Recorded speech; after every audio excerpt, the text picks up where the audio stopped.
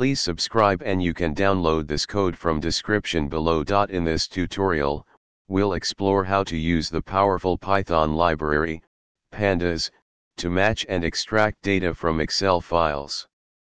Pandas provides easy to use data structures and functions for data manipulation and analysis, making it an excellent choice for working with Excel data. Make sure you have the following installed. Let's start by importing the necessary libraries.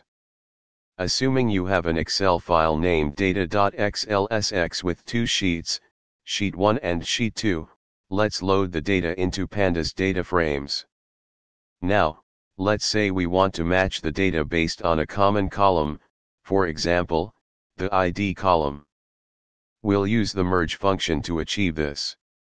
In this example, we perform an inner join, how equals inner, which keeps only the rows with matching IDs in both data frames.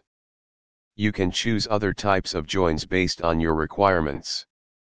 After merging, you may want to extract specific columns from the merged data frame or perform further analysis.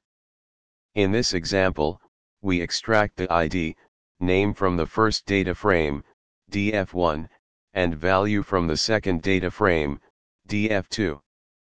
Adjust the column names based on your actual data.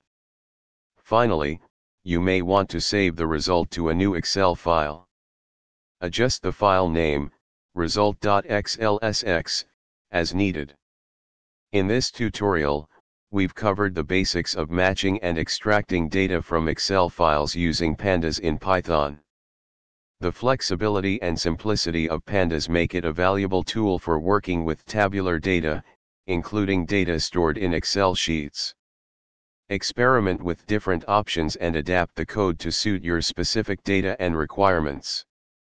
ChatGPT